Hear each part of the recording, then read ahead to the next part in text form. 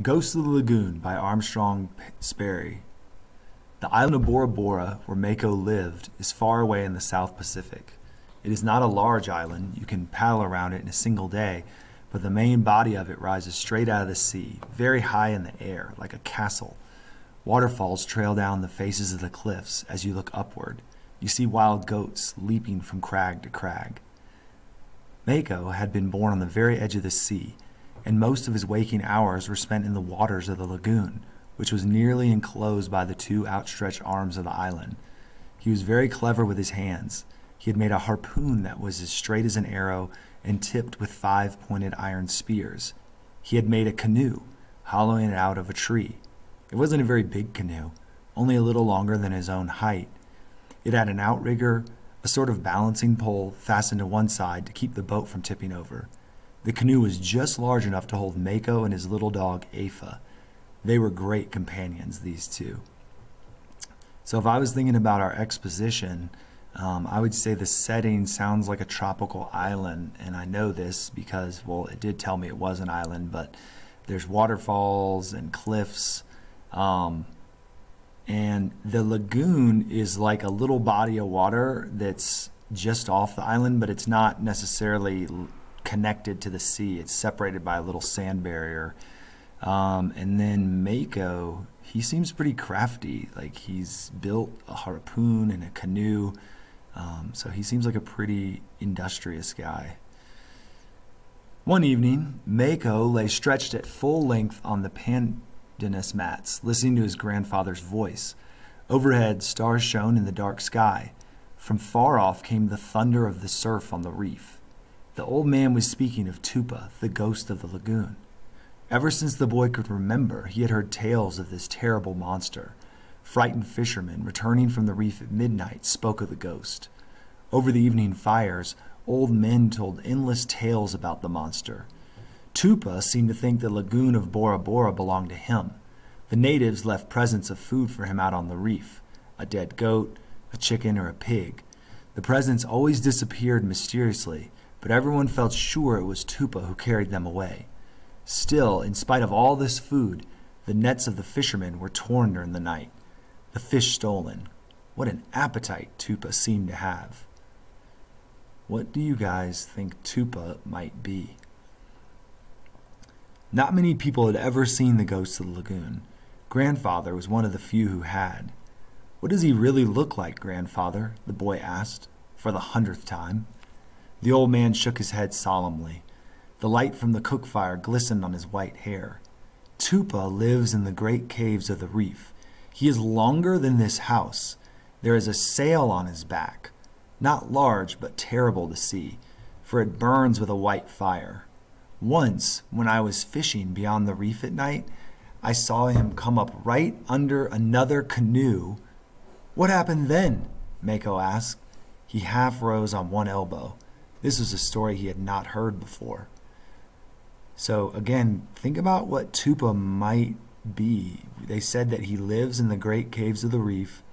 He's longer than a house, and there is a sail on his back. I wonder what that sail could be. The old man's voice dropped to a whisper. Tupa dragged the canoe right under the water, and the water boiled with white flame. The three fishermen in it were never seen again. Fine swimmers they were, too. Grandfather shook his head. It is bad fortune even to speak of Tupa. There is evil in his very name. But King Opunui has offered a reward for his capture, the boy pointed out.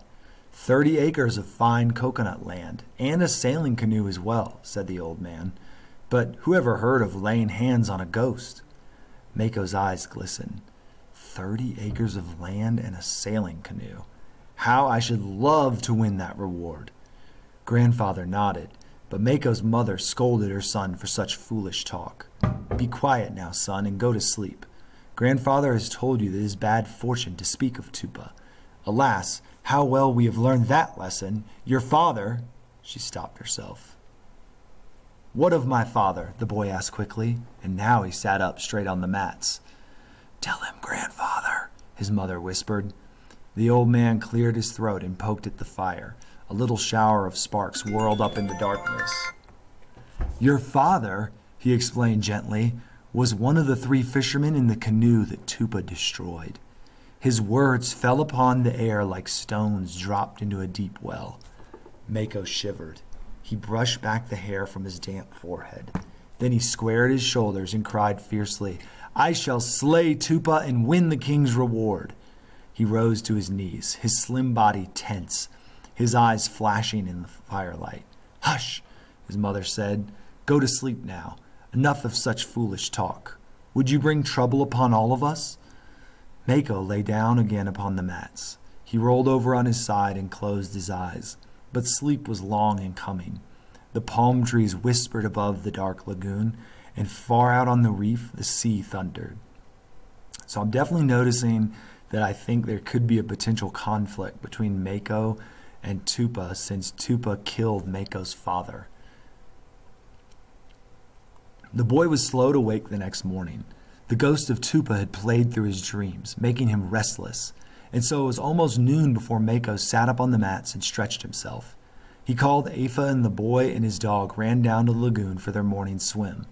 When they returned to the house, wide awake and hungry, Mako's mother had food ready and waiting. These are the last of our bananas, she told him. I wish you would paddle out to the reef this afternoon and bring back a new bunch. The boy agreed eagerly. Nothing pleased him more than such an errand, which would take him on to a little island on the outer reef, half a mile from shore. It was one of Mako's favorite playgrounds, and there bananas and oranges grew in plenty. Come, Afa, he called, gulping the last mouthful. We're going on an expedition. He picked up his long bladed knife and seized his spear.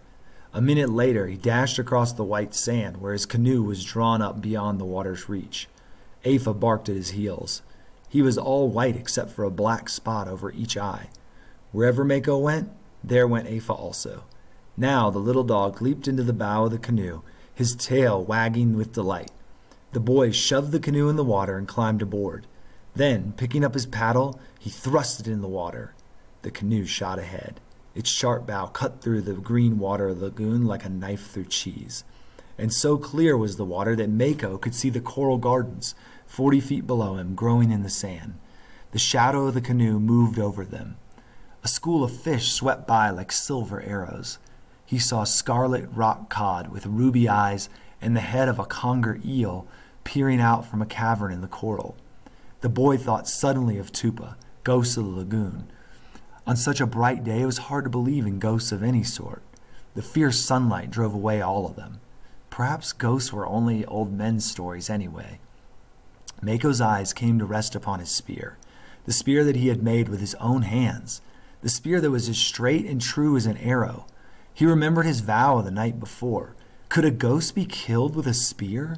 Some night, when all the village was sleeping, Mako swore to himself he would find out. He would paddle out to the reef and challenge Tupa.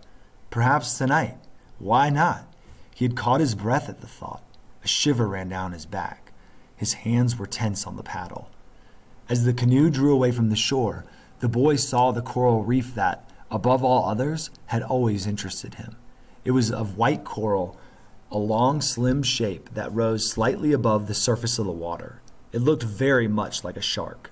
There was a ridge on the back the boy could pretend was a dorsal fin, while up near one end there were two dark holes that looked like eyes. Times without number, the boy had practiced spearing this make believe shark, aiming always for the eyes the most vulnerable spot. So true and straight had his aim become that the spear would pass right into the eye holes without even touching the sides of the coral. Mako had named the coral reef Tupa. This morning, as he paddled past it, he shook his fist and called, Ho, Mr. Tupa, just wait till I get my bananas. When I come back, I'll make short work of you. Afa followed his master's words with a sharp bark. He knew Mako was excited about something. The bow of the canoe touched the sand of the little island where the bananas grew. Afa leaped ashore and ran barking into the jungle. Now on this trail, now on that, clouds of seabirds whirled from their nests into the air with angry cries. Mako climbed into the shallow water, waded ashore, and pulled his canoe up on the beach. Then, picking up his banana knife, he followed Afa. In the jungle, the light was so dense and green that the boy felt as if he were moving under water. Ferns grew higher than his head. The branches of the trees formed a green roof over him. A flock of parakeets fled on swift wings. Somewhere a wild pig crashed through the undergrowth while Afa dashed away in pursuit. Mako paused anxiously. Armed with his banana knife, he had no desire to meet the wild pig. The pig, it seemed, had no desire to meet him either. Then ahead of him, the boy saw the broad green blades of a banana tree. A bunch of bananas, golden ripe, was growing out of the top. At the foot of the tree, he made a nest of soft leaves for the bunch to fall upon. In this way, the fruit wouldn't be crushed. Then, with a swift slash of his blade, he cut the stem. The bananas fell to the earth with a dull thud. He found two more bunches. Then he thought, I might as well get some oranges while I'm here. Those rusty little ones are sweeter than any that grow on Bora Bora. So he set about making a net of palm leaves to carry the oranges. As he worked, his swift fingers moved in and out among the strong green leaves. He could hear Afa's excited barks off in the jungle. That was just like Afa, always barking at something a bird, a fish, a wild pig. He never caught anything either. Still, no boy had a finer companion. The palm net took longer to make than Mako had realized. By the time it was finished and filled with oranges, the jungle was dark and gloomy. Night comes quickly without warning in the islands of the tropics. Mako carried the fruit down to the shore and loaded it into the canoe. Then he whistled to Afa. The dog came bounding out of the bush, wagging his tail. Hurry! Mako scolded. We won't be home before the dark comes. The little dog leaped into the bow of the canoe, and Mako came aboard. Night seemed to rise up from the surface of the water and shallow them, swallow them. On the distant shore of Bora Bora, cook fires were being lighted. The first star twinkled over the dark mountains. Mako dug his paddle into the water, and the canoe leaped ahead. The dark water was alive with phosphorus. The bow of the canoe seemed to cut through a pale liquid fire. Each dip of the paddle tailed streamers of light. As the canoe approached the coral reef, the boy called, Ho, Tupa, it's too late tonight to teach you your lesson, but I'll come back tomorrow. The coral shark glistened in the darkness. And then suddenly, Mako's breath caught in his throat. His hands felt weak. Just beyond the fin of the coral tupa, there was another fin, a huge one. It had never been there before, and could he believe his eyes? It was moving. The boy stopped paddling. He dashed his hand across his eyes. Afa began to bark furiously. The great white fin, shaped like a small sail, glowed with phosphorus light. Then Mako knew. There was Tupa, the real Tupa the ghost of the lagoon. His knees felt weak. He tried to cry out, but his voice died in his throat. The great shark was circling slowly around the canoe. With each circle, it moved closer and closer. Now the boy could see the phosphorus glow of the shark's, side, shark's sides. As it moved in closer, he saw the yellow eyes, the gill slits in its throat. Afa leaped from one side of the canoe to the other. In sudden anger, Mako leaned forward to grab the dog and shake him soundly. Afa wiggled out of his grasp as Mako tried to catch him, and the shift in weight tipped the canoe on one side. The outrigger rose from the water. In another second, they would be overboard. The boy threw his weight over quickly to balance the canoe. But With a loud splash, Afa fell over into the dark water. Mako stared after him in dismay. The little dog, instead of swimming back to the canoe, had headed for the distant shore, and there was the great white shark, very near. Afa, Afa, come back, quickly, Mako shouted. The little dog turned back toward the canoe. He was swimming with all his strength. Mako leaned forward. Could Afa make it? Swiftly, the boy seized his spear. Bracing himself, he stood upright. There was no weakness in him now. His dog, his companion, was in danger of instant death. Afa was swimming desperately to reach the canoe. The white shark had paused in his circling to gather speed for the attack. Mako raised his arm, took aim. In that instant, the shark charged. Mako's arm flashed forward. All his strength was behind that thrust. The spear drove straight and true, right into the great shark's eye. Mad with pain and rage, Tupa whipped about, lashing the water in fury. The canoe rocked back and forth. Mako struggled to keep his balance as he drew back the spear by the cord fastened to his wrist. He bent over to seize Afa and drag him aboard. Then he stood up, not a moment too soon. Once again the shark charged. Once again Mako threw his spear, this time at the other eye. The spear found its mark. Blinded and weak from loss of blood, Tupa rolled to the surface, turned slightly on his side.